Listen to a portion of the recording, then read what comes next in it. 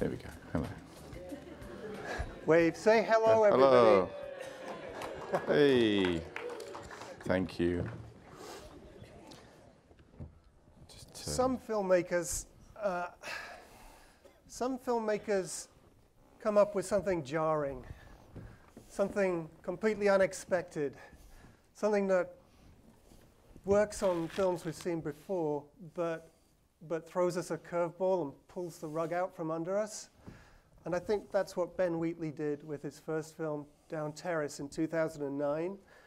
And remarkably, it's what he's done with every film since. And he's now made five films in the last seven years, with another one in the can. Um, what we're going to do this afternoon is run through that filmography, those, those five films. Um, we're going to intersperse my comments with clips from each of those films. And that's going to take roughly 45 minutes, 50 minutes, and so roughly 10 minutes of film. Uh, and then we've reserved a good 20 minutes for questions from the audience. So that's, that's the format, that's the idea. Uh, knowing Ben, uh, anything could happen. but um, just, I, I'm not sure how many people here have managed to see High Rise already. oh, hey, come on. Good, but come again because we're opening it in May, May 20th, and uh, we need your support. Um, and it's a film that gets better each time you see it, I can tell you that. Um, how many people have seen Down Terrace? Oh, That's, that's pretty good. So Down Terrace, and you can correct me if I make any mistakes, uh, was, sh- was shot in 2009 over the course of eight days. Uh, it was shot in uh, largely in one uh, location, a, a terrace house that belongs to a, a friend of yours. what's it's the house that the actors live in. it's Rob Hill's dad. Right. house. Oh, yeah. So uh, it was it was not uh, a big budget production, um, but screened at Rotterdam and immediately picked up kind of critical notice. The the film industry uh, and the the kind of wider film community uh, recognized that there was something special here. Ben won a couple of prizes, uh, the, the best new film at Fantastic Fest, um, best British film at the Raindance Film Festival. So immediately th- there was some buzz um, for this very small budget movie. And a year later, he was presenting uh, Kill List, maybe two years, 2011 was it? Presenting It Kill was, List at yeah. Cannes, uh, which was a slightly bigger budget. Um, story of uh, a couple of mercenaries, professional hitmen, who find themselves in uh, a conspiracy that's way nastier than they have any conception of. Uh, and it kind of morphs from a thriller into a horror film. Um, and that was followed almost immediately, a, a year later, with, with Sightseers, which again showed at Cannes and was a, uh, very black, very British comedy about uh, a couple going on a caravan holiday who somehow racked up uh, quite a body count along the way. and, uh, and then the fourth film was A Field in England, which was something wildly, completely different again. It was Ben's first costume drama. It was uh, set during the English Civil War. Um, but I can't think of another period drama like it, a, a kind of trippy, psychedelic mindfuck of a movie. Um, That's the technical critical term for it, isn't it? well, I'm hoping you're going to explain the film to us later.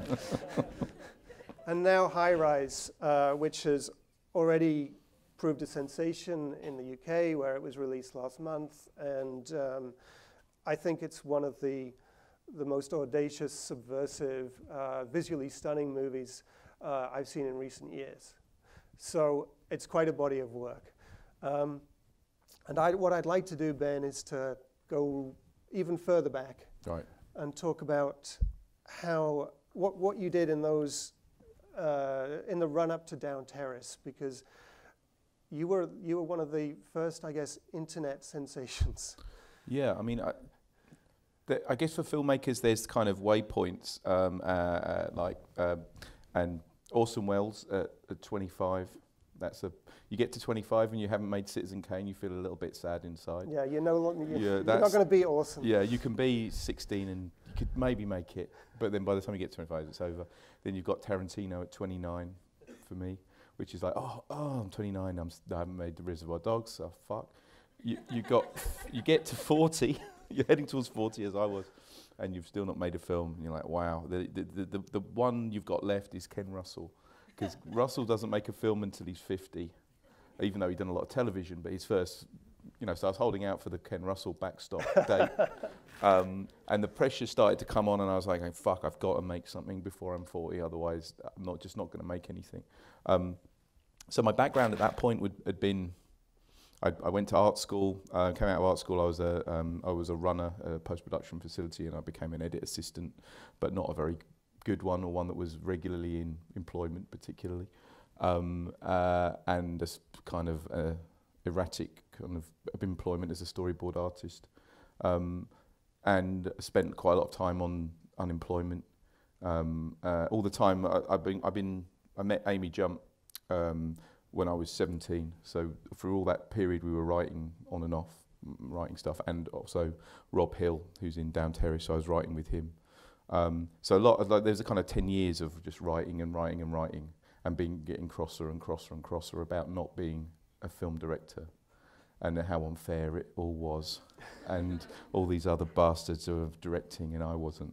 So that was the bitter time, you Yeah. know. Um, and uh, so that went on and on and then I kind of, I ended up um, in Brighton where I'd, I'd been to university and I went, moved back to Brighton from London. I'd just given up and um, I ended up as working in kind of corporate video. So I was like making like I did an advert for a shopping centre in Nottingham. And you know those adverts for carpets and stuff, and you wonder who makes them. Mhm. It was me. I was making that kind of stuff, which was great. I was learning. I didn't know what I was doing, but I was kind of getting little bits of work doing that. And then, um, and then the internet came along, and I started to. I was like a creative director in a. This is a bit of a leap, obviously, but I, I, I, I, I, we were in a tiny company during the dot com boom thing, and I, I started doing little bits of. I was doing radio promotions originally, and then that kind of morphed into online stuff. So we're doing competitions, and um, and then as the internet kind of matured and got the bandwidth got faster, we started doing animation, um, and then the dot com crash happened, and we were fucked. And I thought, you know, I thought I was quite, you know, edgy and cool and could get work, and that everybody who had the same skill set was unemployed at the same time. The thing that killed us was a campaign I did for Siemens phones, which was um, they were launching this new phone in 2001, um, and they wanted to do a teaser campaign of what that was going to be, and so I did loads of animation. And the date that they were launching it was September the 11th, and the campaign that I did was what's going to happen on September the 11th, which we trailed for like three, four weeks of animation of people going, what's going to happen September 11th? What's going to happen? God. Da, da, da, da. and I had september11th.com, the, the URL, and basically we, Are you not on a watch list now? well, we basically Siemens phoned us up the next day and go, "D- d- destroy it all, destroy it all, get rid, get rid, like this. And I remember we did a credit creds thing where you, when you, when you work in um, advertising and you, you know you do this thing, you show people what your work was, and we showed these guys who were going to buy our company. And we said, this is what this is what we've just done. What's going to happen September 11th? Went, Never show this to anyone again. Shut down your company and hide. You know, so that was kind of the end of us. And and I was basically, I guess I was 28 or something like that, and uh, on my arse. And Amy was pregnant, I think, at that point, and I had to retrain. And I was like, and what am I going to do? I don't know what I'm going to do. So I started drawing because I couldn't draw a bit. I thought I'll get into the games industry.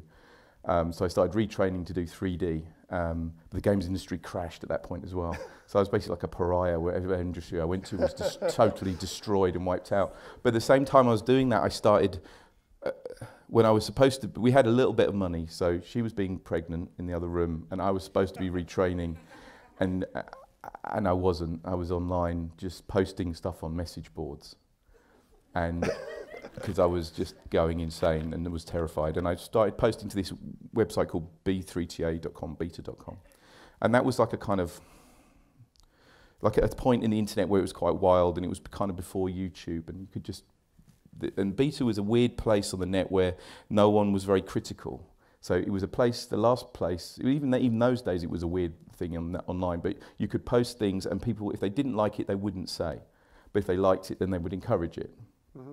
You know imagine that world that's very yeah and so I, I, made, um, I started making stuff and post, posting on there. So I'd make little comic strips and animated GIFs and flash animation. And um, getting feedback and, and traffic to this website I'd set up called Mr. and Mrs. Wheatley.co.uk, which is our, Amy and our company. And just as I think it, it came to a point where we were going to default on our mortgage. We had uh, like about a week before we were going to run out of money, and that was it. We were on the street. She was heavily pregnant. And I got one bit of work in because of that stuff I'd posted on that website. And they said, Can you do some animation stuff for Extreme Sports Channel? We like your online stuff. I was like, Oh, oh okay. And that was like the boom, and it just came back up from yeah. that. And so that website, then I made a lot, I, I, I think I probably made two or three things a day and sometimes they'd just be just images, and sometimes they'd, uh, over a couple of days I'd make an animation or whatever. But for about a year and a half, two years, I made, made and made tons and tons of work. And then as the bandwidth started to catch up, so you could actually put it, movies online, yeah. which now I feel like an incredibly old man, because it's like the reality of that. It doesn't seem, you know, we all think it's always been working perfectly, but it was terrible shit at the beginning of it. Yeah. And um, I started making very short clips, and like one of them was the, the uh, called Cunning Stunt, where Rob Hill jumps over a car and then gets run over by another car, which is a which is a gag that I used in both Down Terrace and in in Sightseers, um, reused because it was the only effects shot I knew how to do, and. Um, and that got millions and millions and millions of hits, and then it all started to pick up, and I started getting work. So that was the that's the potted yeah. history of, yeah. of Cunning. And then basically, I did a lot that went on for a bit. I had a couple of really good years where I was doing advertise, uh, doing adverts, and I was doing TV. And I, I guess my film school was um, a TV show called Ideal, which was on uh, BBC Three. And I, I'd had some incredible breaks where like, I did a, a TV show called Modern Toss where they'd, I'd gone from being the editor of it to them offering me the live action stuff to direct. And I'd never directed anything longer than 20 seconds at that point. so there was a leap up to directing stuff that was two or three minutes long. So I went, okay, I can do that. And then Ideal was then a leap up to directing half hour TV. Um, and uh, they just trusted me to do it, weirdly. Yeah. I, I, I, don't, I don't know why. I, but I don't dig into that. I don't question it. I had a really good interview with them and they liked me and that was it. And, um, and then that, when I, when I directed Ideal, I used it. I had this, this I had these um, DVD, DVDs of um, called uh, Hollywood Blocking right? And they're like, um, you know, like Mad- Madden's NFL game, yeah. where you've got like playbooks and you go, you're going to run around here and he's going to throw the ball to the. But this is for, for, for, for filmmaking, right? So, and they've got all these little these shots called the lock and the, the thing and the thing. And it goes, what are you going to do if you've got to film a, you know, there's a family drama and um, there, there's 10 people sitting around a table. How are you going to film it? It's like, fuck, I don't know. Okay, let's have a look. And, and it was all done in, th- there's 3D models. And, and I'd, I'd seen it like a few years before. I go, I know all this shit. You know, I'm, I'm super clever. I know all this stuff. You've seen some films. Yeah, I know all this crap. But then when I was making Ideal, I didn't know, I realized I really didn't know anything. Yeah. You know, when I was looking at this stuff, I go, my God, it's all here. And, they, and, and, it, and it, that, that DVD set kind of unlocks, it's like, it's all the stuff from the 30s and 40s, but it's also everything that's in sitcoms and everything that's in, uh, in TV drama. It's all the same stuff. It's why people, when they move out of a scene, stop at the door and turn. Mm-hmm. You know, and all that. so, and I always wondered why they did that. It's always really weird, but you know, it's like so they can, you know, the dra- dramatic pacing and, and blocking of, of, of scenes. So every day I'd watch that DVD holding onto it like a life raft while I was shooting this thing, and I'd go in the next day and implement some of these shots, and bit by bit, I kind of learned how to move the camera under pressure. Yeah. You know, you know, you block really fast on TV and you have to work really hard um, and and and uh, hold your nerve. Um, so there was that, and then I uh, I convinced them somehow to shoot on prime lenses rather than just on zooms, and it was just at the point when it was turning over from being like news gathering cameras that basically all drama was shot on to the Alexa was coming, but it would have been in like five or six years' time. But there was a there was a period in the middle where where a lot of um, TV was shot on um, ENG cameras, but then they had a lens adapter on that you could put a prime lens on. Um, so I did. If you ever see Ideal, it's really crazy. It's like you know I'll shoot one way on a wide lens and the other way on a on a 50, and it would be backwards and forwards, and, every, and everyone was looking at me like I was insane. But I was basically trying out every single combination of lens. So it's a very fussy, quite fussily shot. Ideal's a bit of a mess, some of it. But, but because the script was so, it allowed for quite a lot of flights of fancy and, and craziness. Yeah. I got to try out loads and loads of stuff, and I got to learn how to use grip equipment and stuff like that. So then, you know, we did the first series of that, and then um, again, Rob Hill, working with Rob Hill, and he was editing it at the time. And I had a short script called Down Terrace. Oh no, it's no, the short script was called like Father Like Son, which was 20 minutes long. Um, uh, and in the film, uh, uh, where the film ends is uh, as when he kills Garvey with the hammer in the in the film. Sorry for anyone who's not seen it. That's a terrible spoiler, but don't worry. I'm sure you won't remember. Um, and so I just got that script and expanded it and made it into a feature film. Uh, Rob and I rewrote it to fit his dad because he was going to be the main character in it. And we basically had this scheme that we thought we need to make a film, but we don't want to end up. Um, we know it's going to be no budget we'll put our own money into it. But we don't want to be to do this thing where people take the piss and they, they a lot a lot of times these these movies get made and they just take forever to shoot and they never get finished and everyone's goodwill gets used up.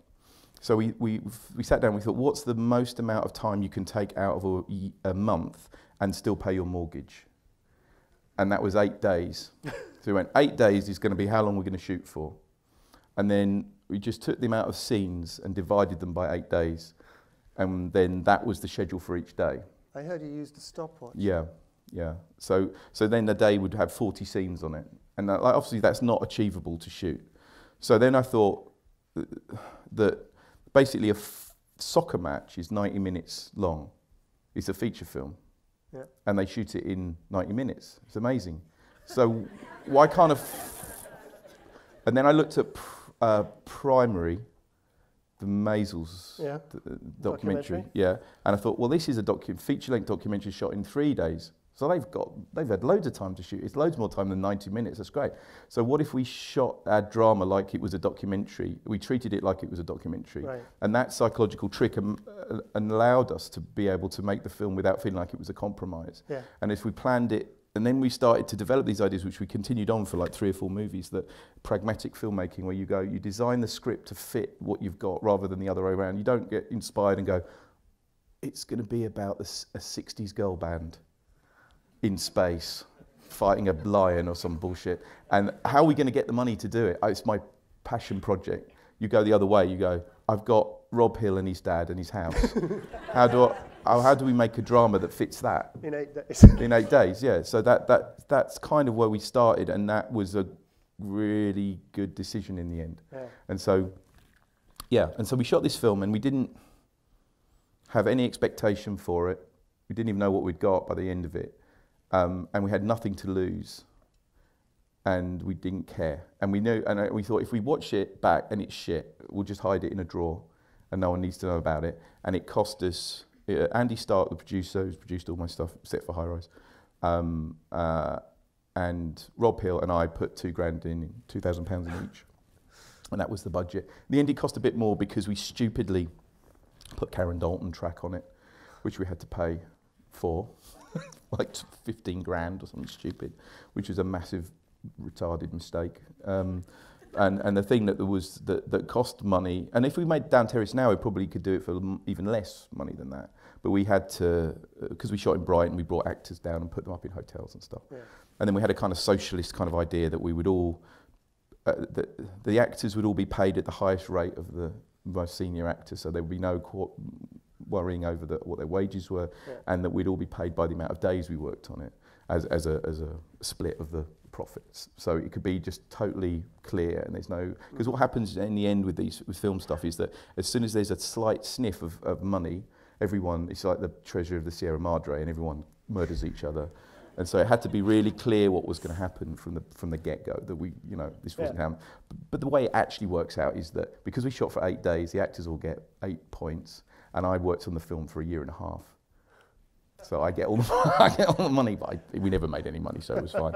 But um, the, so so that that was kind of how we how we structured it, and then we um, and we shot it, and we cut it, and I think it was cut in about three weeks because we've been working on TV, and TV is half an hour is shot uh, half an hour edit a week, Yeah. and that's how we'd cut, uh, Rob and I had been cutting Ideal like that for ages, so we, we didn't know any better, and we just thought that's the way you do it, and it's fine.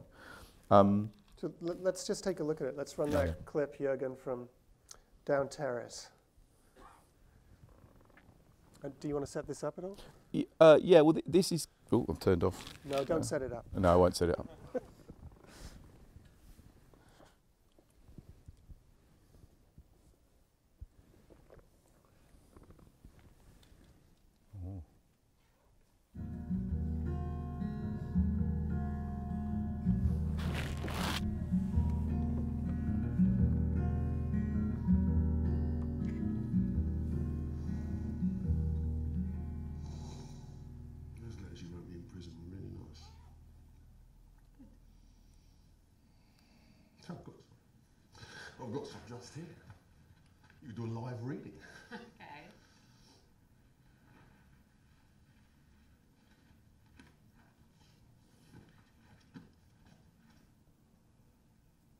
just here.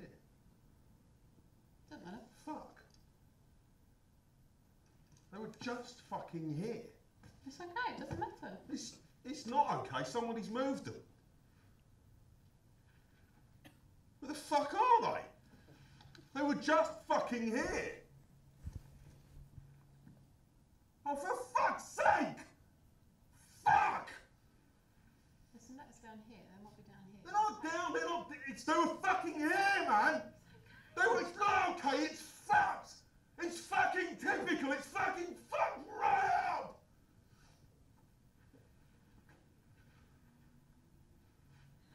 Mom!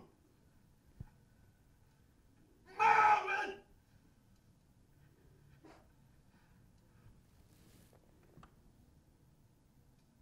Mom! Mom! Mom, have you seen those letters? It's not okay! Oh, there they are.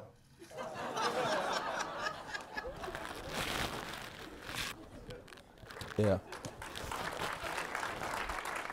And that, yeah, apart from being a, a very accurate portrayal of how I act, um, that is, uh, that kind of sets the pace for most of what happens in the movie that we've made from that point on. You know, it's like it's going from uh, uh, extreme um, emotion gear changes.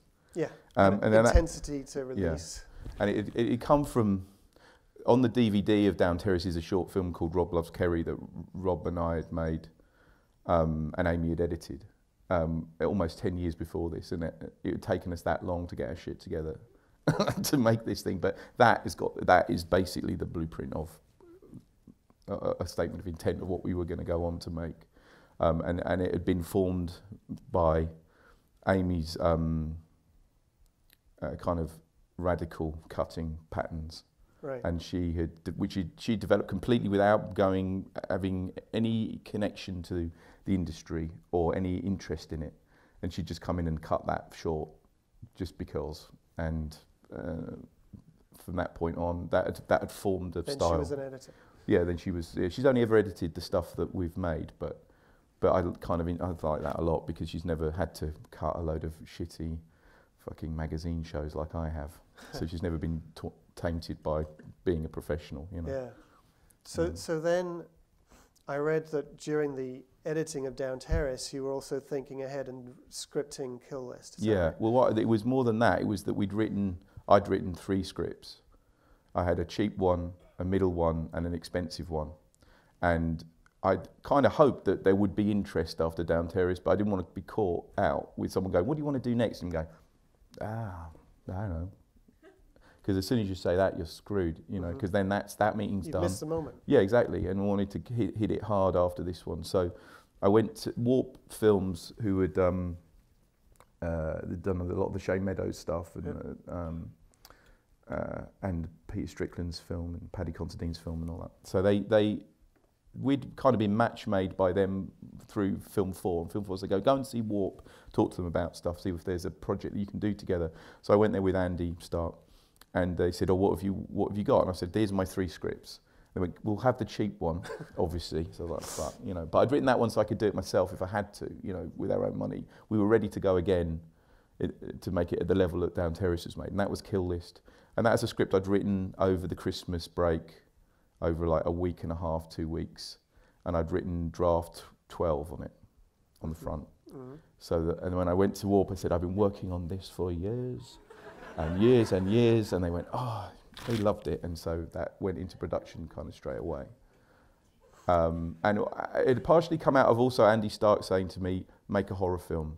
Don't make a because basically there's a British crime film, which is one of the most maligned genres there are. You know, at that point there was a lot of British crime movies had been made, and a lot of um, hoop, football hooligan movies had been made. And I I just love crime films, and I wanted to make a crime film. So Andy kind of put up with it, and said, okay, we'll make this one. That's fine. It's kind of half and half. Yeah. So, um, but it, Andy's background, and this is kind of part, a big part of why we've managed to make lots of movies, is because of Andy Starke, producer's background. So Andy was um, someone I'd known since I was a kid.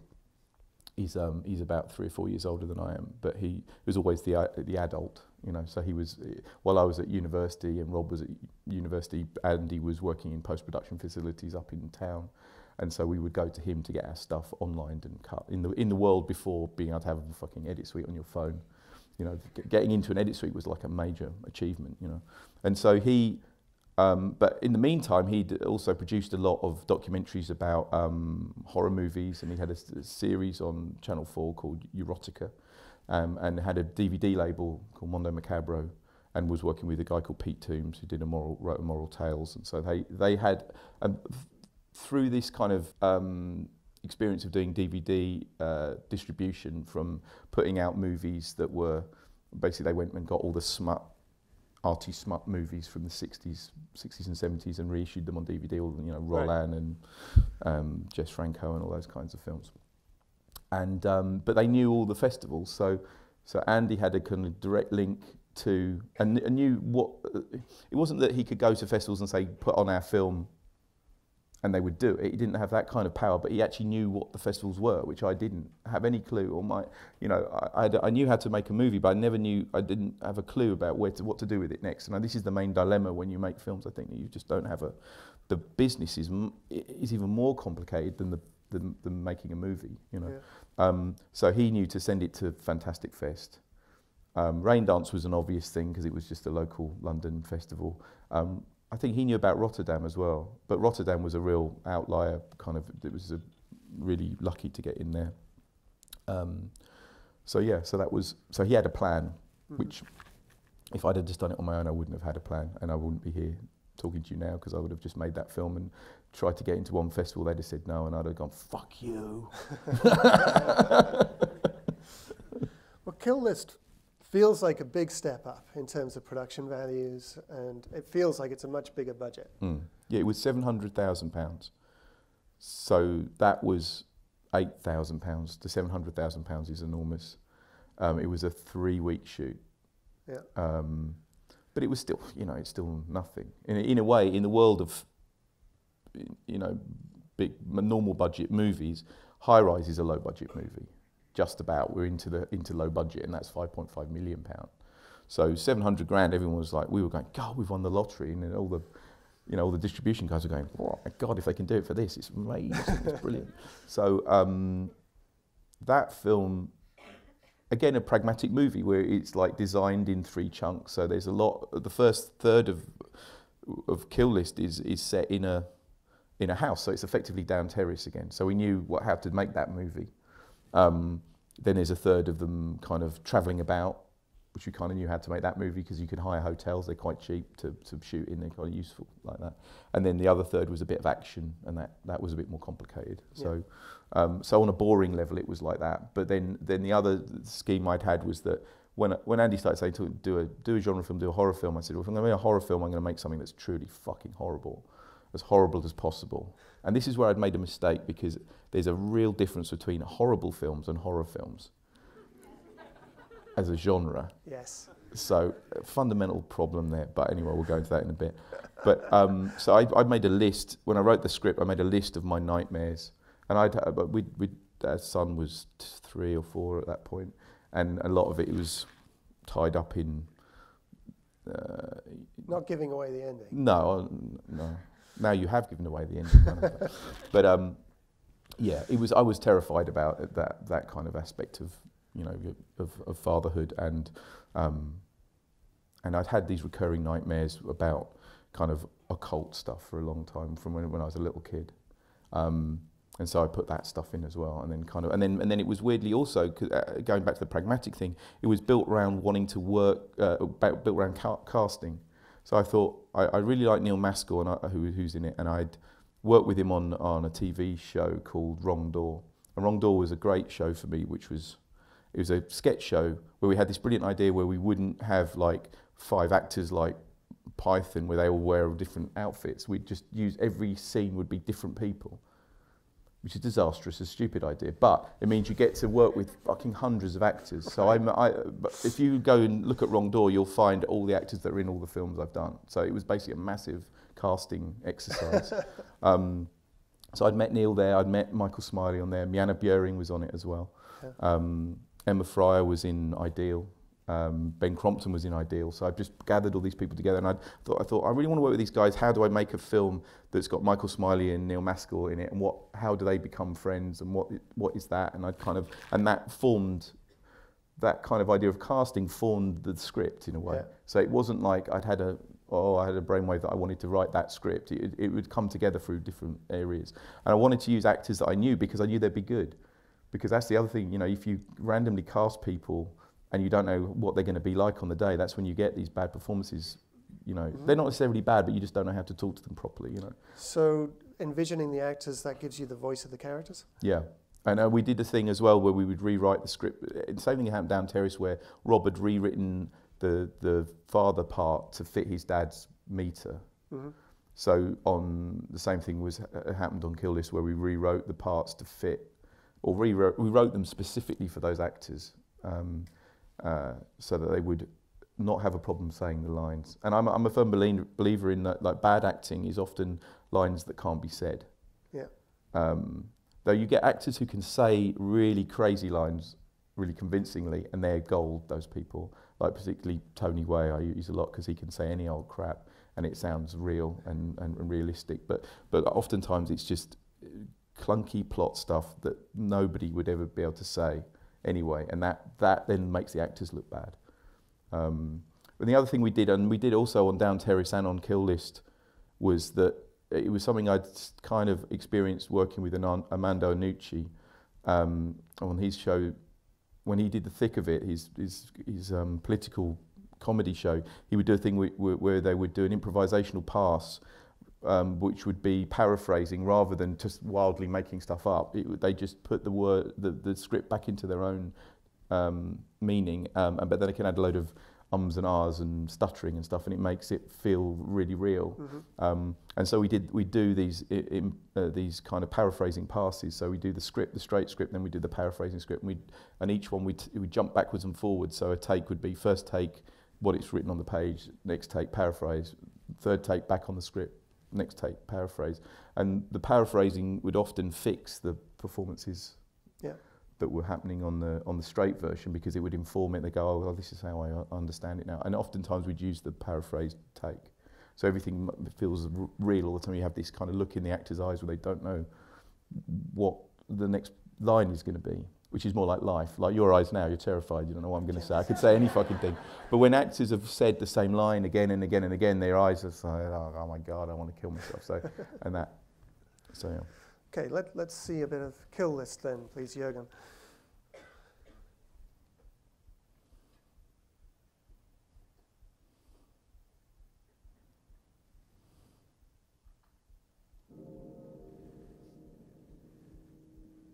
I just wanted to say thank to Justin.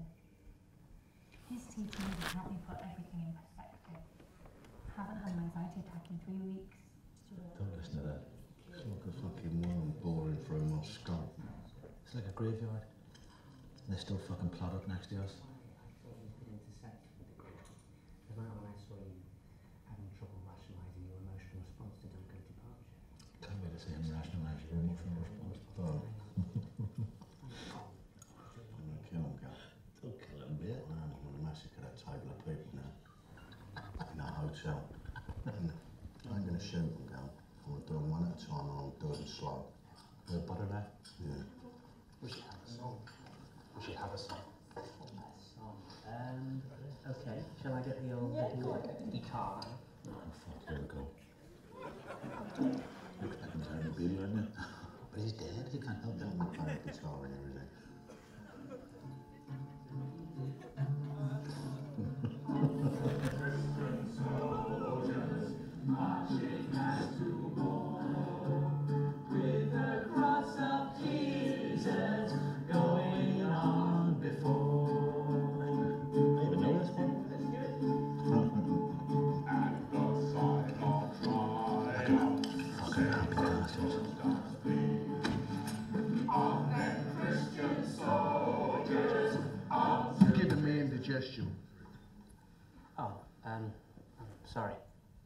Apology accepted. Sometimes God's love can be hard to swallow. Yeah, not as hard as a dinner plate. God loves you. Really. Well, tell God with me, if you're the type of people he hangs about with, stay out of my way. No more guitar, mate. Not in restaurants. There's a time and a place. Your time and a place is a very isolated location. Where no one's likely to be for about a fucking hundred years. Okay? Because Jimi Hendrix, you ain't.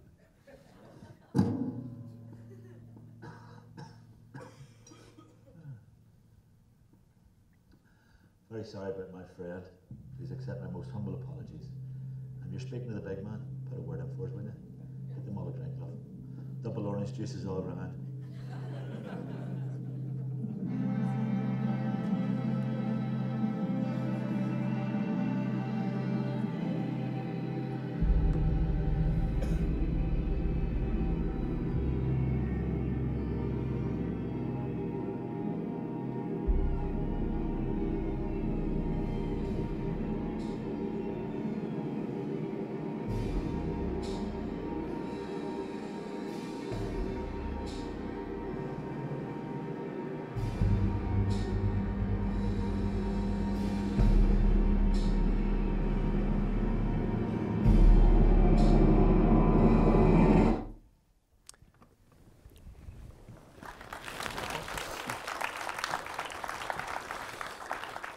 That, that happened to me in a, in a restaurant. It did? Yeah. But I win because I get to make a film about it years later. you got out your guitar? no, I didn't know. I was, uh, But that, I mean, that's a good demonstration of that kind of verite camera style. So it's not, it's not like a mockumentary, but it, it's a handheld camera Yeah. and it, that naturalistic acting, yeah. but with a genre film, genre story. Yeah, I mean, what we there's a few things going on in there. One of them, one of the things that's really important to all the films I've made is Laurie Rose, who's the DOP, and he was a DOP on all of the movies. Yeah, and he, I'd met him through um, doing stuff for the BBC, and he was a, a camera assistant to another DOP I'd been working with, and that guy couldn't turn up one day. He said, "Oh, uh, well, Laurie lives in Brighton. Do you want to, do you want him to it?" I was like, "Yeah, that's fine." You know, and I got on really well with Laurie, and he'd made a foolish, foolish mistake of posting on Facebook, and we became friends. And he put, posted this post on Facebook saying, "If you've got a script, I've got a crew." So I phoned him up and I said, "I've got a script," and he thought it was going to be a short script, and he was down terrace, and so we. And Bobby Entwistle, the um, sound guy, who I knew before actually as well, but him, him and um, Laurie have been the, the core crew basically from the start. Um, so, uh, and the thing about Laurie, uh, you know, his background, he'd been, he'd done a lot of um, kind of light end stuff and docu soap stuff and following people around with cameras and that. But he's he's I kind of way I work with him is like he's like an actor really because he's he's the he's the observer you know of the of, of, of, all the action. So I talked to him more like an actor than than a, than a cameraman. Certainly for the handheld stuff, handheld movies, the first three three or four movies. Um, and and I just really got and I didn't really appreciate what he'd done on Down Terrace until I edited it because it was all so frantic the way we shot it, and I realised that he had a really gentle eye and like you say, it's not about it's not that kind of whipping from side to side and crash zooms in on stuff, which is the the, the, the language of the mock doc, which is not right really, because people your your eye doesn't do that. You, mm-hmm. you'd, you'd have to go to hospital if that happened, you know. And so, and uh, and and a movie that we you know we get asked a lot about what movies do you watch to blah blah blah, blah before you make the movie uh, these films, and I and, and we always I always said the same thing, and it's Grey Gardens.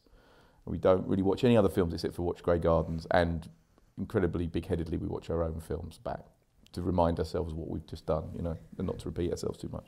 But Grey Gardens is a really important movie in terms of um, the inquiring eye of the camera and that you can have things happening way off screen uh, and be looking at something over here and it doesn't matter and it's in, incredibly um, engaging and, and emotional. Um, and so, yeah, Laurie, Laurie witnesses the films. Yeah. So that's kind of where that style that style comes from. That also that scene was interesting for me, and we've not it's an experiment we haven't done again, but I, I know I do want to get back into it. Is that that that was shot as a simultaneous scene in that kind of Altman style with lots and lots of mm, radio mics.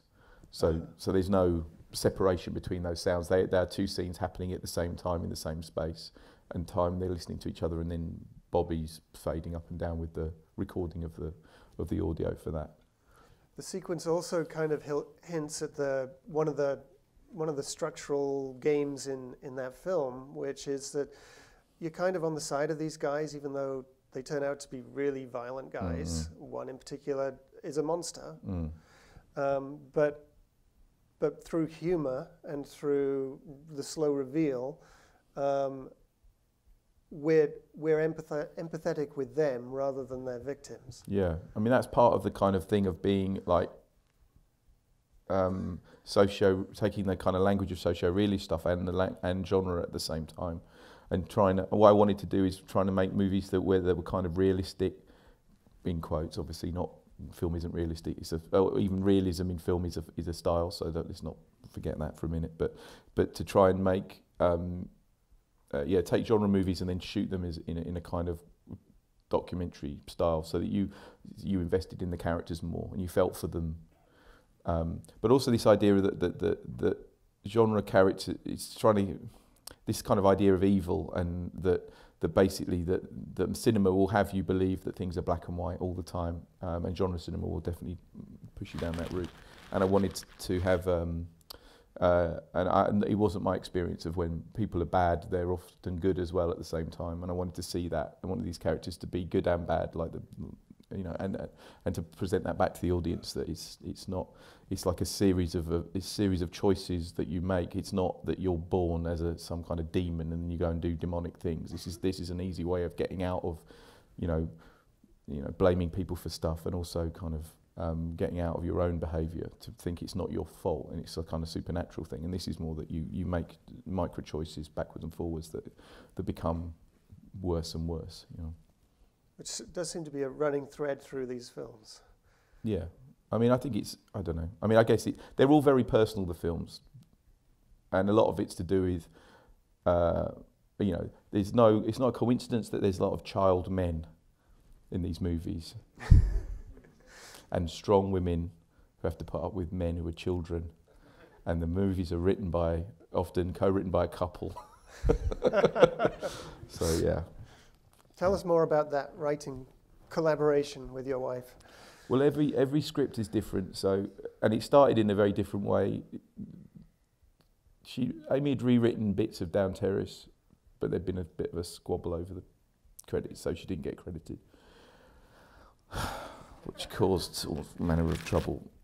Um, Kill List is a film that I asked her to rewrite, and she did, and that was when it started to kind of I could start to see, you know, a lot of so that scene was written by her, apart from bits of improvisation by Neil Maskell, but there's a lot of that the the confrontation, uh, you know, the, as big as a dinner plate, all that stuff was all her writing. Um, and she was just making my my kind of quite tight, um, almost more humorless scripts, much funnier and much denser.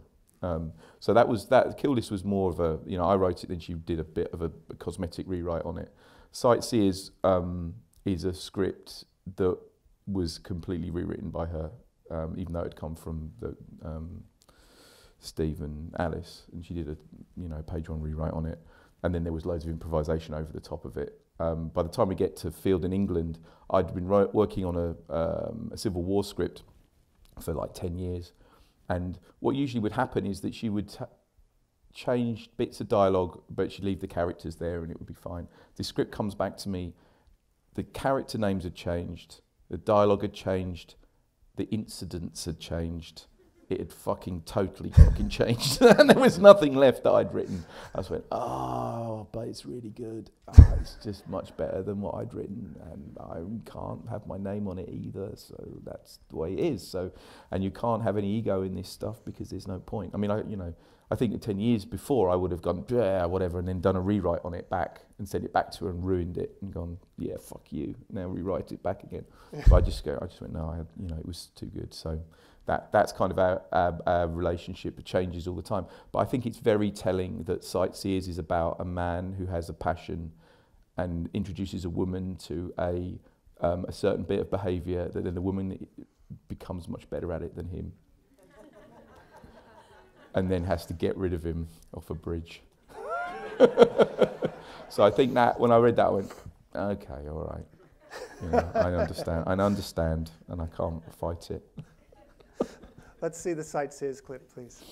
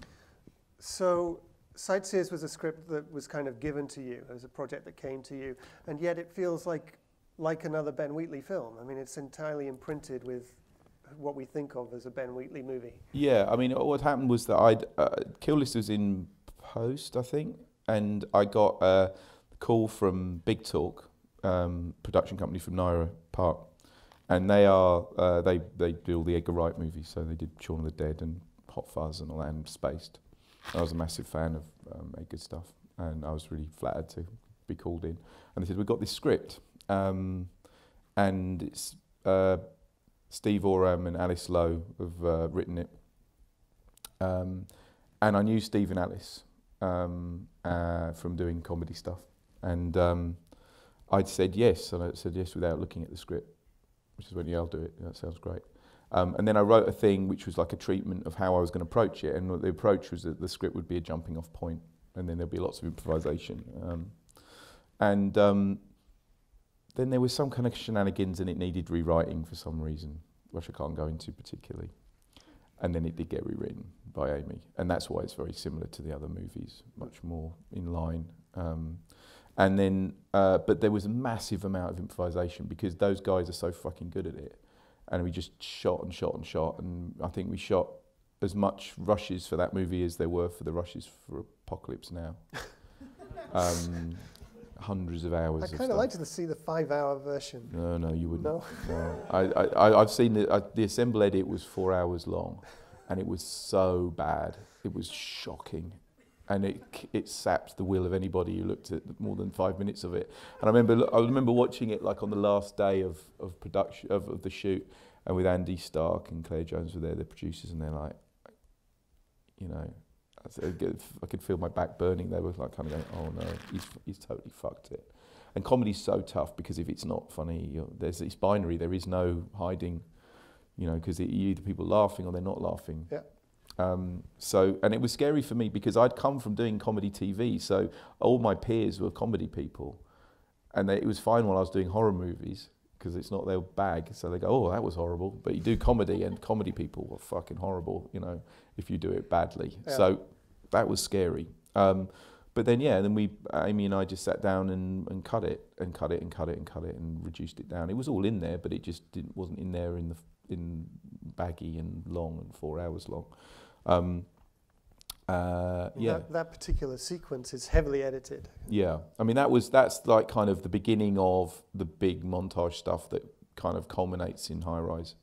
Um, there's tiny bits of it in in Down Terrace. There's nothing in Kill List particularly, but this. But I always love montage. So, and I and and again, this had been like you know Amy had written the script on top of the or the guys had written, and then I would pick out sequences that I wanted to do. So I'd design that. You know things like her. The egg, and, you know, the egg and the, her cutting her foot and the murder and all those things and the trilobite on the rock and all that were all details I would have put into the script written on top of it. Just and what I'd do is like write stuff in the morning of what I wanted to do on top of the script that we were going to achieve. So it was great. You know, the experience of it was really interesting because, like, say, the, the beginning of the movie starts in the mother's house, um, and I got them to. It was only set in two rooms in this house, but I got the art department to dress the whole house and had a special room in it, which was the mother's tracings room and all this stuff. And it's none of that's in the script.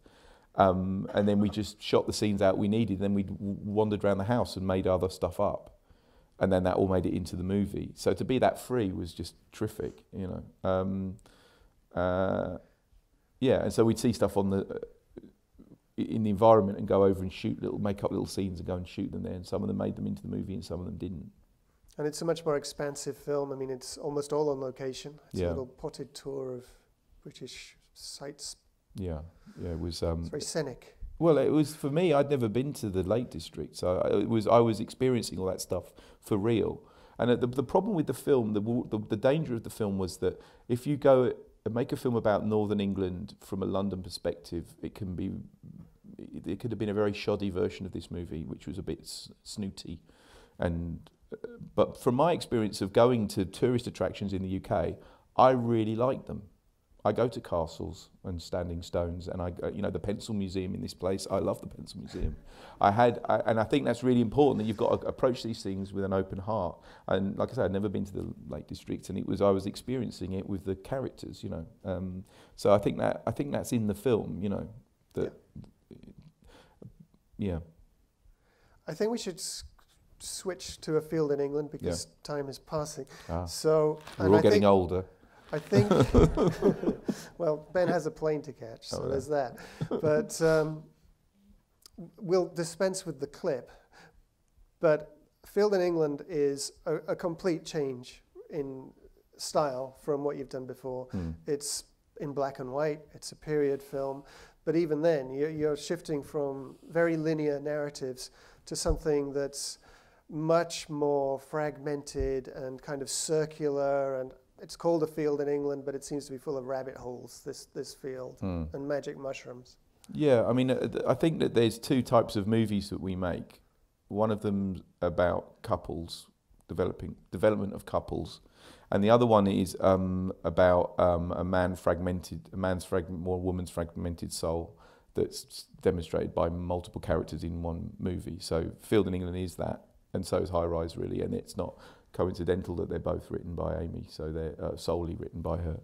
Um, so that was the first, and I, and I see that there, that there is a direct relationship between Field in England and High Rise, and basically the Field is that, and then that's the High Rise, you know. So, um, uh, and so where this had come from, this movie was that we, I'd start, I'd written another script with Amy, which was a big sci-fi movie, which is going to cost loads of money. It was like twenty million dollars.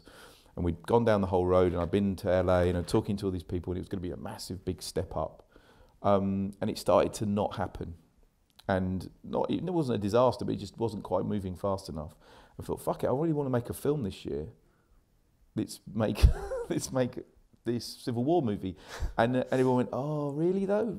You were going to make this big commercial film. We go, no. uh." And then um, Amy wrote it, and it was, and I, you know, so I said, oh, what I want to do is I want to make a midnight, a proper midnight movie, and like, like kind of what my first experience of watching Jodorowsky films were, or watching Eraserhead, or all those kinds of films. Um, and if we make it a certain budget, we'll be completely left alone to do that. Um, and the, we basically started with our own money. I think we had 25 grand left over from making uh, the, in the in the Rook Films kitty, which is had produced all the other movies.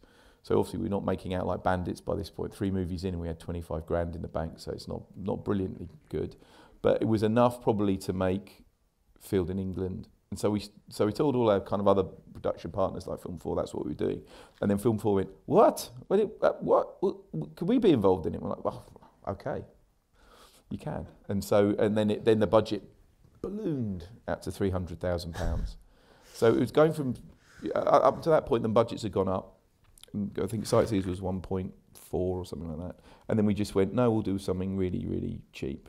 Um, but it was designed to be that much money, so there was never a compromise in how we made it, and we got to do make a truly kind of crazy movie, Yeah. and and that and that was a kind of mo- a tactical move because I thought if I make this big Hollywoody thing, I'll never be able to go back, or possibly won't be able to go back for a long time to make this other film. So it's a bit perverse the choices here, but I just really fancied it. So we uh, that film was shot in 11 days and um, came together really quickly. And then they had some crazy idea that it was going to, in the UK, that it would be distributed. It would be available as a download on DVD, see it in the cinema, and free on television. Which I kind of thought was like a good idea because I always thought that because film this only really works for Film Four, but because Film Four have got their own channel, you end up seeing um, there's always a big bump on the DVD sales by the time it hits telly for free.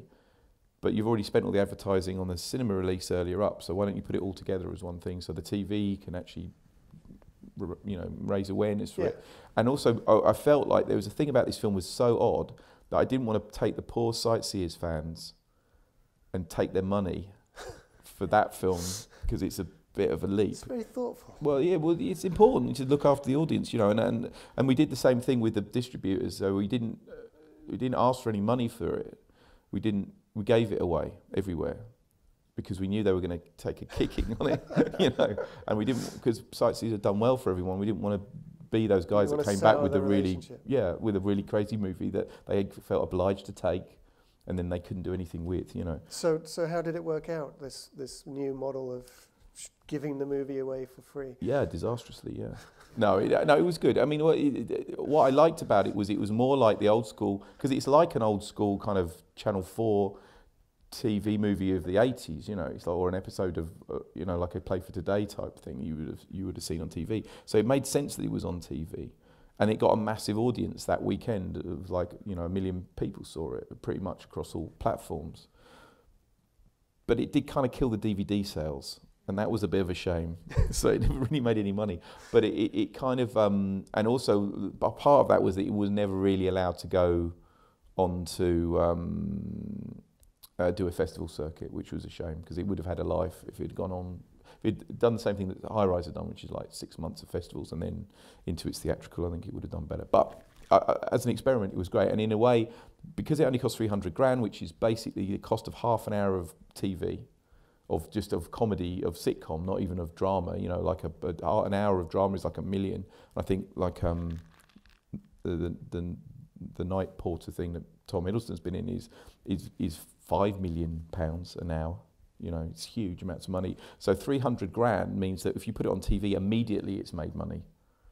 It does, he's always recovered its money because he's Yep. filling up that slot of, Yep. of, of 90 minutes for a third of the cost of, of, out of production. So I, I, w- I felt all right about making such a bonkers movie with their cash.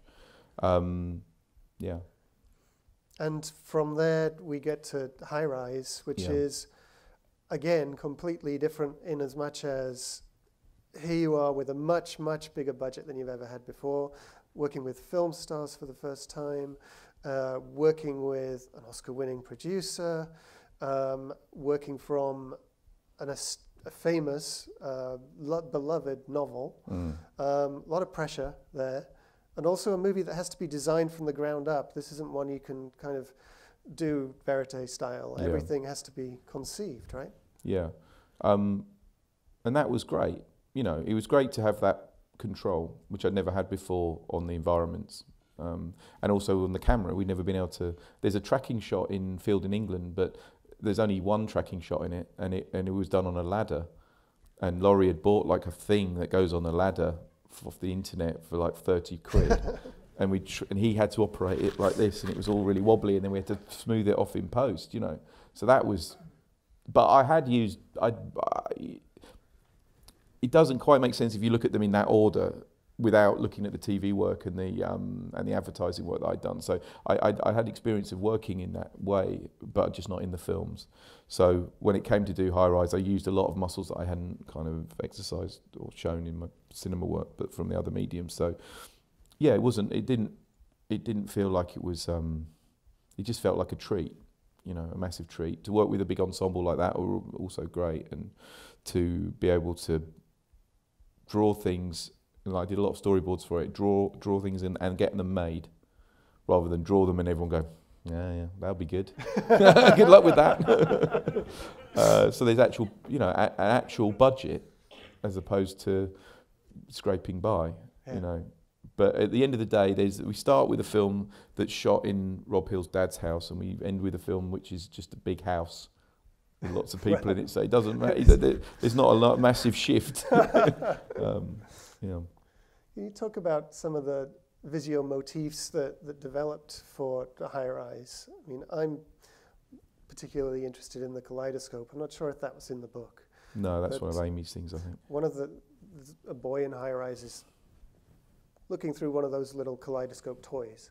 Uh, and that becomes a visual motif in the film, but it also seems to be almost a structural motif because, because again, it's no longer a linear narrative. It's, it's something where this kind of amorphous uh, images balancing and symmetrical and morphing and kind of shape shifting, and the whole structure seems to be like that. Yeah, I mean that's the the the, the thing is that there's there's a kind of um, a received wisdom about how you write scripts, uh, Hollywood style scripts, and it's that you don't put any camera description in or they're as vanilla as possible, so the director can put their stamp across them. And um, and so the writers don't get out, you know, don't get too big for their boots, uh, and don't author basically as much. Um, but we've never worked like that because Amy's involved in the edit and is a almost, you know, we're co-authors basically of the thing. So she writes in editing into the scripts, and this has been going on since Kill List times pretty much. So our scripts are, or, and her scripts are really short scenes, lots of them, montages all written in, da, da, da, and um, and something like the kaleidoscope is all written in very in very in great detail of how that fits in in, in the whole script. So, um, and when I read the script, and also so so, so our collaboration on that on that script was that my my biggest creative moment was taking the book off the shelf, and I went, this is the book we're going to do, like this. And she went, okay. Is, are you sure? I went, okay. And then she went away and wrote it. And then I read it, and that was that. Who had the idea of setting it in the 70s? Because to me, that's the, a stroke of genius. I mean, Yeah. this is a futuristic novel, but you said it in the past. Yeah, I would like to say it was me, but it wasn't. I have a vague, fake memory that it was my idea, but it really wasn't my idea. Yeah, no, it was Amy's idea. I mean, what had happened? Basically, we went to see. I went to see Jeremy Thomas, and he had the rights to the book. He's been trying to, do it for years and years and years, and everyone, had, a lot of people had a crack at it, um, and there was scripts this high off the ground that had been written, and Amy said, "I don't want to write a, st- a script. I don't want to be given money to write a script for this film." because it's too intimidating. Um, I'll never do it. I'll never finish it. I was like, okay, so what do you want to do? And she said, well, I will write a spec script from the book. And if they like it, then they can pay for it. And if they don't like it, then we will just walk away. So I told, told this to Jeremy, he's like, what? They want, you what? They want paying? What the fuck? So anyways, that's what we did. But it, what it meant, it was very clever of her, because it, what it meant was all those scripts just got the elbow and weren't looked at all that work and all those decisions just disappeared. And they've been trying to they've been trying to make, make a, a version of High Rise set in the future all the time, and it's kind of it had gone quite a way away from the book. And uh, yeah, and she wrote this thing on her own, um, and what what that spec script was um, hardly changed from from that point onwards to what you saw on the screen. So it was her singular kind of decision. Yeah. Um, and that's kind of why we, ch- in, in, in High Rise, even though it has a film by Ben Wheatley on the front as a credit, which I got my arm twisted into, when we're going to that, the next film it doesn't happen. Though there's a difficult thing about posters anyway, I'll talk about that later. But, the, but at the end, the end credit is directed by Ben Wheatley, written by Amy Jump on the same card. And that, that the, the shared card idea, which is not, no one ever does this because there is a hierarchy of creativity within filmmaking, which is the director at the top and the writer it services the director and blah blah blah. But it, it, uh, our practice and the way we work is increasingly not that, and it's more uh, a, collabor- a kind of straight collaboration. Um, and, and and we're wondering about the how important the director is in this situation. Like, is it is it at the top of the pile? It isn't really. If you've got the writer who's the editor, Mhm. then you've got the director and editor. They're kind of, if you're, you know, nominating out the points of control, that the, the, it almost is equal, you know. Um, so yeah. So when you describe the writing process, it's very clear who's written what. Hmm. Is it that clear in the editing room? Um, there, the edit is uh, a, an angry place. You know. We won't probe. There's a lot of shouting goes on in, and, and sulking, mainly by me. But it is, but yeah, that that is it's conflict there because that's the because she she's not on set, so then it's like the the two visions come together and have to get mashed together. So it's the script is very very specific, but then I've obviously changed it a bit visually, and I, all my stuff has to go in, and I've storyboarded it and had all those conversations and my interpretation of the script. Then when we get to the edit suite, it's some things I've done are okay, and some things are not, and so then we, we then we, we thresh it out. Um, but also, she doesn't come out. She won't do any of these things. This is the problem. I ended up being the face of it, Yeah. and it's not something. And that's not why I'm. You know, I'm not hogging it. She just will not talk to anyone. You told me there's one photo of her on the internet. Yeah. That's that's like Terrence Malick territory. Yeah, and, it, and, and there's only a photo. There's only one photo of her because the um, when you do a Google image search, it comes up with Anna Higgs' photo, who's a, was a producer at Film Four, and somehow she's been meta tagged as Amy. and Amy saw it one day and went, "What the fuck is this? Who's this?" I'm like, "I don't know. You're not on the internet. This is what happens." And she said, "Right, put me on fucking put a photo of me." So there's that. I took that photo and, and we've been trying to get her up the ranks to be the first search for Amy Jump. Though when you search for Amy Jump, it's just lots of women called Amy Jumping. Um, it's unfortunate. It's unfortunate. but yeah, she's slowly getting there though. She's almost, she's like third ranking now Yeah. of, for her own name. So I want to give you guys a chance to ask some questions. Um, Adam, would you would you do me a favor and run back t- to the booth and get a handheld mic? and meanwhile, whoever wants to ask the first question, you can just shout out and I can repeat it. Yeah. Hi there. Uh, you mentioned the treasure of Sierra Madre and Imperial Peru. Do you ever have a desire to classic, like, for example, Treasure of Sierra Madre? Um, I'm, I'm currently in development for a remake of Wages of a third or fourth, depending on how many versions of uh, Wages of Fear you can dig out from the history of cinema. But yeah, so we're yeah we're working on that at the moment, which is a terrifying prospect because it's obviously been made twice really brilliantly, you know. And when they came to me and said, "Do you want to do it?" I was like, "Mm, "Yeah."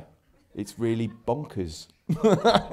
so I am kind of trying to make this thing and trying to make and just it, it's a real high wire act because it you know it could anyway I think it'll be fine but I'm I'm but I can't apparently I can't use bits from Sorcerer so there's no I can't use the bridge Damn. which is fine I suppose.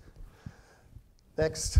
Uh, And if you wait for the mic to come to you, that means we'll be able to preserve your question on the on the recording here, which would be fab.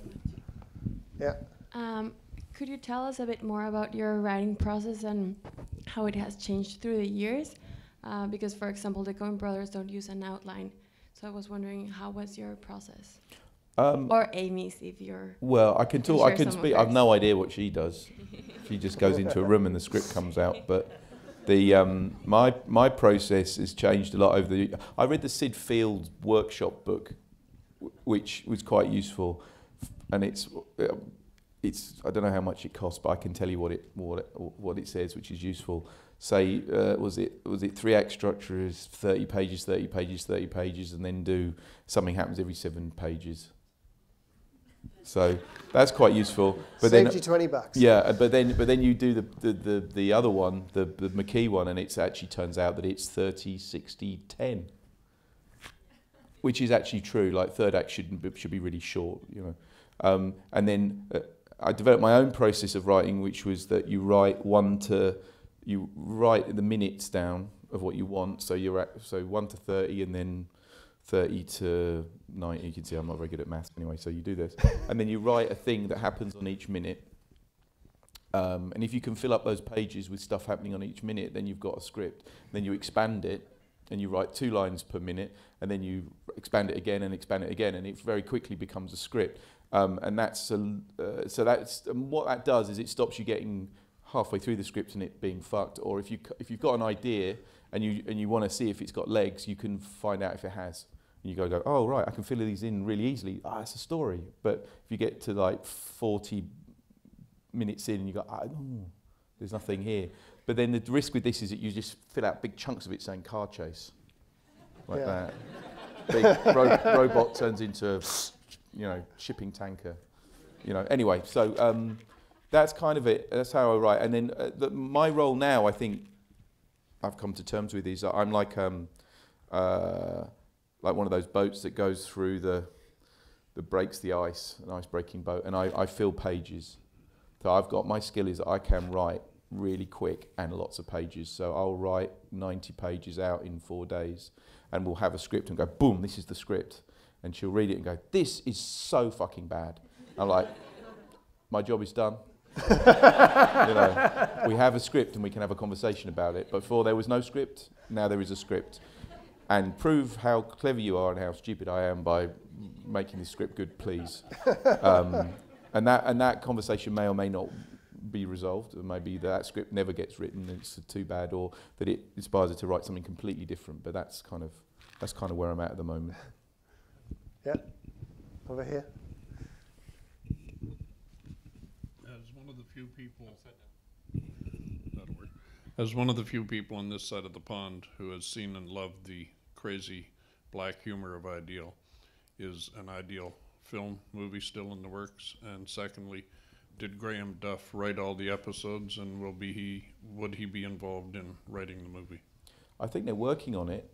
Um, Duff did, Graham did write every episode, yeah, and I, uh, and it was, it was a big education for me. Working either the two series I did of, of Ideal were really fascinating because I would, you know, to read his scripts and see them made was one thing. And you go, you, uh, at the beginning of it, I was reading them going, I don't understand what these what these jokes are, why why these puns are in here. And then when you see it in the in, in, in on the run, and you realise how he's cleverly structuring things, so he's got like tempo jokes and then just things being funny in between.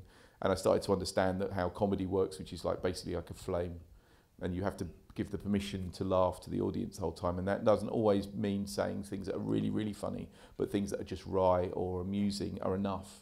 That every every line doesn't have to be like a zinger line or you know. Um, and then I was in the edit process with him um, for those two series of Ideal as well, and learned a lot, like watching him kind of carefully, you know, um, massaged what we'd shot into what he felt was the was the was the most effective thing, and him and Henry Normal as well, who's the producer, um, and how diff- how like a frame can make a difference to a laugh, and they would look go through every episode and just go, that is a frame too long and it's not funny, and that was and that blew my mind. You know, me and Rob Hill were doing like, wow, what the fuck, this is great. You know, you know, so. Um, but I don't know what, what the state of that is at the moment. But I think Graham's written a script for it. So Somebody over here? Yeah. Hello. Hey. Um, as someone who's in the story from the script, obviously the production, and then the editing room, how much does that change from the script to the production in terms of the point of view of the characters? Because the script seems to be more objective, and then the direction looks like it's more from the point of view of the characters. But how how do you write that on the script, or how much attention do you pay from the start? I don't know. Like, is something is it something that just happens during production, I'm not sure I understand. or okay. Um, I think that the uh, yeah, I mean it's I mean it depends what the script is and what move which movie it was. I mean some of them are um, a lot of it's taste. Um, so the early movies we would if if we felt like a scene wasn't working then then that was when things would become more improvised or that they would um, or if I feel a film a scene's not working then I usually cover it more so that there, there's a chance of recovering in the edit from it which is a bit of a dirty secret to put out there. So whenever a scene's got lots of cuts in it, you know we've fucked it. but and it's much better if the if the scene runs without cuts, if you can manage that. Um, that's what we always kind of tr- strive towards: the less coverage and less less editing, um, because life doesn't cut unless someone hits you over there with a brick. You know, it's most of these things just roll on and on and on. You know, and that's what you know that's more realistic, and it's always trying to find that thing of, of humanity in it to make it feel like it's real people talking, real experiences. Um, and uh, but then later in the in the process, when it's when it's uh, something like Field in England, which we didn't change, there's one line of improvisation in it, and we found we couldn't improvise it because it was such a minefield that because it was written in that kind of in that period, as soon as you start to improvise, you you come across words that didn't exist. And, and we had a real, you know, many, Amy had many sleepless nights on that script because of a character saying that they were an envelope, and the, the word envelope doesn't come into the English language until five years after the English Civil War. So it was like, oh, can I do this? I don't know. Ooh. But I, I said, yeah, it wasn't in the dictionary then, but it might have been. Uh, and it said the dictionary doesn't exist then either. So it's uh, anyway, it's difficult. So um, yeah, so uh, so that was a, that that's that's there's no change to the script at all from you know the script that she wrote was what, what happens on screen. That's all the way through is exactly the same. Oh, oh. Okay, go with the yellow hat and, and behind you. Uh, so, I'm trying to make my own little silly, outlandish movie, and I'm t- just worried about something myself, or I'm concerned about something that I wanted to ask because High Rise and Kill List and a lot of your films are kind of oppositional. I wanted to know whether or not you think at some point in time there'll be a time where oppositional cinema is more viable or uh, more accepted. I guess it wouldn't become oppositional, but you know what I mean. What's oppositional cinema then? Like uh, I don't know, stuff that's not as uh, yeah, surrealist stuff, like stuff that's not as accessible. Well, subversive. Well, I think we've Yeah. always tried to make we we make these movies and we think they're really commercial, That's the problem. You know, we always make we don't, we never want to make films that, that people don't want to go and see, but also we make films for that we want to see, and then we kind of the, the gamble is against your own taste. Um, and I often, f- I, you know, I thought Kill List was going. to This is going back to the point of making the horrible horror film. Yeah. I thought Kill List was going to be a smash hit, and I was really surprised when people. I, was seeing on Twitter people saying I was watching Kill List and this old guy stood up in the middle of the cinema and said "fuck you, Kill List" and walked out. you know, I was like, "Oh, that's not good. That's not, what- that's not what we wanted." you know, so I think. Is that the hammer scene? Do you think?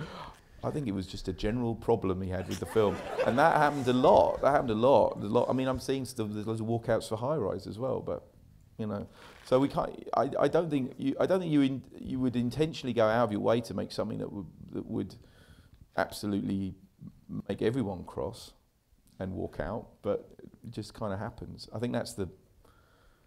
But it's like I say, it's taste. So I like those kinds of movies, and I'm just hoping that more people will like them. And what was really encouraging with High Rise was that a lot of people want to see it in the UK, and that's good. You know, that's the beginning of it. And it's like there's maybe a chance to grow another audience that will watch these movies because weirdly, if you think about High Rise in terms of maybe you've not seen it, but if you think of High Rise in terms of if it was if it came out in the 70s, that movie would not be that weird. And that, those kind of movies were mainstream movies. The, the other kind of the cinema that we experience now didn't even exist. It hadn't even kind of in '75. It didn't even, you know, you, you've got a couple of years. You've got Sorcerer coming out, and then you got Star Wars, and that was it. You know, it ended there, and it was all. And then we're on the road to, to um, a much more straight ahead, more um, uh, kind of narrative-based cinema, um, which you know, which is fine, but but it- there was a time when it was much more adventurous, um, and it's a shame that that's and that's the kind of cinema I like to watch, you know, and and it's the kind of cinema I make. So yeah, so it was encouraging that people were starting to come back to it, um, but it will be a slow road back, I think. Yep. Uh, you spoke about the use of montage uh, in your other films and how it played an important part in High Rise. Can you talk a bit about the style of editing that you uh, used in High Rise? Um, yeah, I mean, uh, again, it's the editing that we that Amy and I have developed is uh, is is unique to us. I think, in, and I, as in, I wouldn't be able to do it on my own, and I don't think she would do it on her own. Our tastes are different in that respect. So when we come together to edit, we edit in a very particular way, and that the negotiation between us makes that edit happen. Um, and I think it's kind of born out of um, like I don't believe in this thing of people saying, "Oh, editing has to be invisible."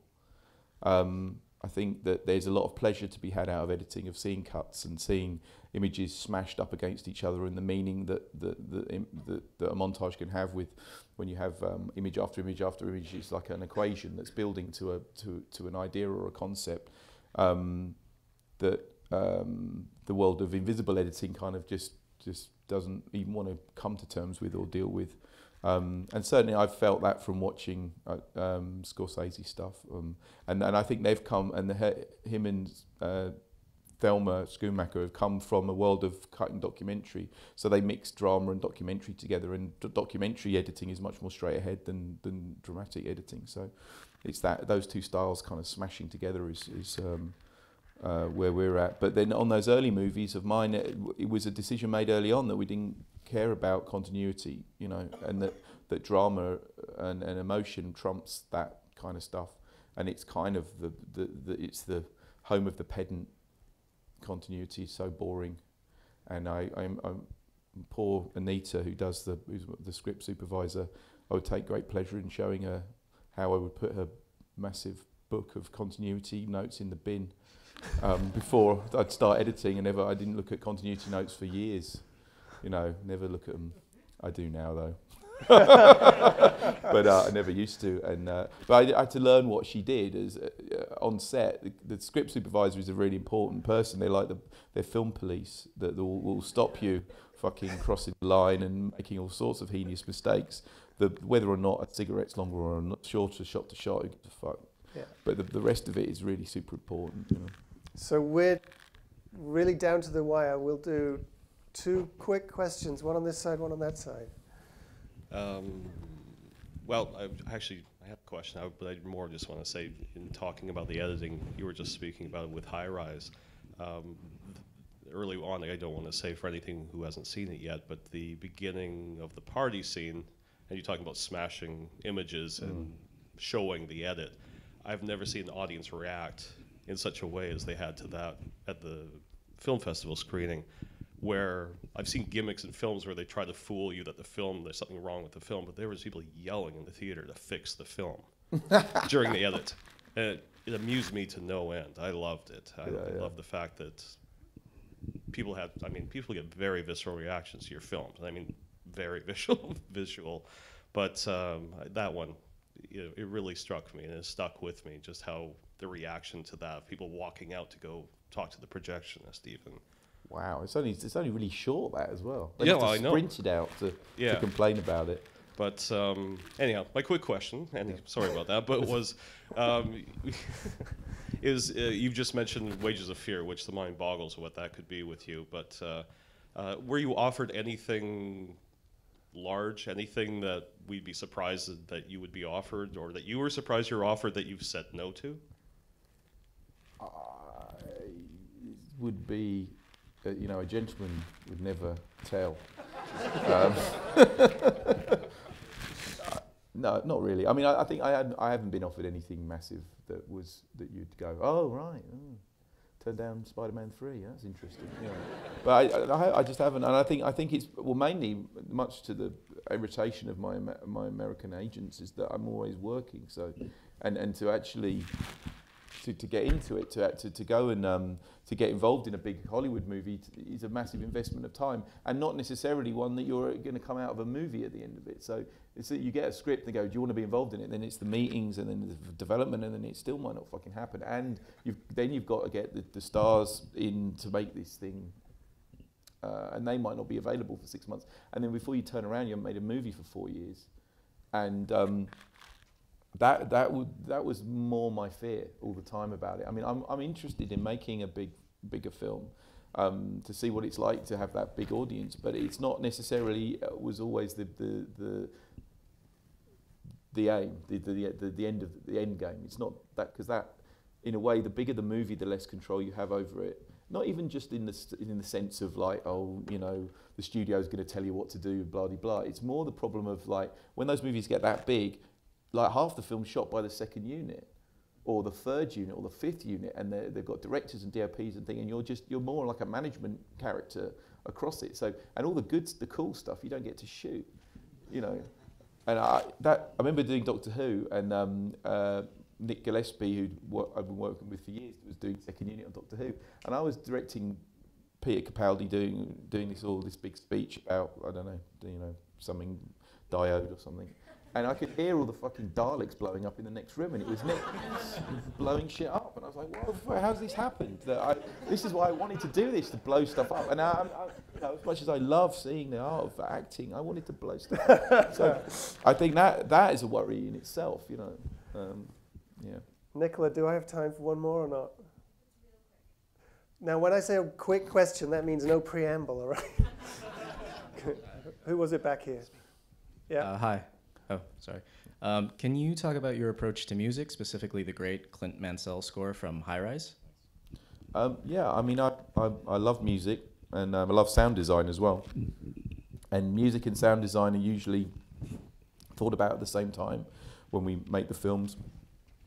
The, the process that you have, um, the traditional process of editing the movie and then mixing it, and these things being a separate process and scoring, um, we've tried to kind of break that down because I find that really tricky. And that, you can come out you don't want to be at the end of, you don't want to edit your movie and then do a sound mix on it and go fuck I could have there's loads of things I need I could have just changed the edit and you know. So what I tend to do is cut with the sound in.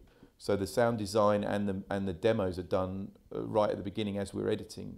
And so they develop as we as we make the movie. So that um, uh, and one of the things I did at the beginning, which was really useful, slightly off the topic of the music, but, the, but on, sound design, is that if you have video games like Counter Strike or Call of Duty, uh, you, you can rip the the folders have all the sound in them. uh, on sitting on your computer as WAVs, and it's like a free library of like of spot sound effects. And so we would just lift all that shit out, like, and it's got everything in it. It's brilliant. So like all of this, all of the sound in Kill List was built from, oh, it was uh, Left 4 Dead. Um, but obviously it all got replaced when the sound design was done. But I could tell Martin Pavey where I wanted everything, and uh, um, and then with the, the music in Kill List again was all it was Morton Feldman albums slowed down to one percent, and it was and then we created the soundscape from that, and then we sent it to Jim Williams, and he wrote the music on top of that. With Clint, it was different. It was um, for one reason or another, High Rise ended up being slightly dislocated in terms of how the, the, the timings happened. So Clint came in quite late, and I'd used temp music on the film, which was a always a mistake, you know. Um, but you have to put music on sometimes to get through stuff. Um, and so then you have the horrible thing of having to take the temp off. I'd put Harry Potter all over it, and uh, he was really no, I hadn't. No. But uh, I, I, I'd weirdly tempt it with his own music, and that was a mistake as well, you know, because they, it's just all horrible. So, um, so yeah, you have this really brutal moment where you where you take off really expensive music that's from other movies, and you put on this these tunes that have been done on Resolve or something that goes, oh my god, I hope it's going to be all right. But you just have to, you know, again, musicians are the same as actors in that respect, and cameramen for me, and it's about casting. So I knew what I was going to get because it's Clint Mansell is brilliant. So you just don't. It's there's there's negotiation, but there isn't. There shouldn't be panic. Um, uh, and it was all fine. And I went to see him in LA, and he was incredibly open and generous about the whole process. You know. Um, but uh, yeah, I mean, I think it's if we could have done it another way, I would have I would have taken the stems of his demos at the beginning and laid them out into the movie and then massaged them that way. And what I tended to do to done in the past is like we'd get um, like in Field in England, it was like one piece of music, a big fat piece of music, but Jim gave me all the stems to it, and then I kind of remixed the the music across the whole thing. So I just take the drums from one thing or a or a bit of a guitar lick from something, and then then I built a kind of a remixed his music. But it wasn't like I would use that music in the end, but it was more of a way of finding a language between the someone who's essentially non-musical like me and and a musician rather than kind of like endless torturous conversations that sound like music journalism. We go oh it's got to be it's got to feel flinty but somehow erotic you know it's like it's, this is this is hopeless you know you need to be able to manipulate sound and go this is something like this you know and temp's meant to do that for you but temp is it, it, it has too many associations trapped inside it from the other movie which too many different rhythms that just to, to break it on Free Fire, the new film we've done, we Amy and I cut it with no music in it at all. And so it was just done, and then and then we scored it afterwards, and that and that helped us. That was the first time we'd ever done that, and it was but but because the film's more about action, it would then dictated its own. Who's done the music on that one? Um, Jeff Barrow and uh, Ben Salisbury, who did um, Ex Machina, but Jeff Barrow's from Portishead, so um, yeah, it's uh, it's quite the score. Yeah, it's good. I'm sure there's a lot more we could talk about there. But as I said, Ben has a plane to catch. Sorry, so everyone. Thank you. Oh,